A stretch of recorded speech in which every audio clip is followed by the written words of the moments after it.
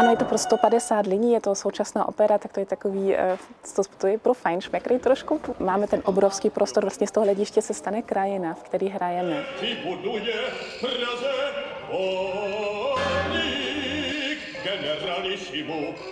Ta koncepce spočívá v tom, že nahráváme orchestr a sbor a tato nahrávka je potom reprodukována v rámci té inscenace a doplňují ji pěvci, pět solistů a komorní soubor.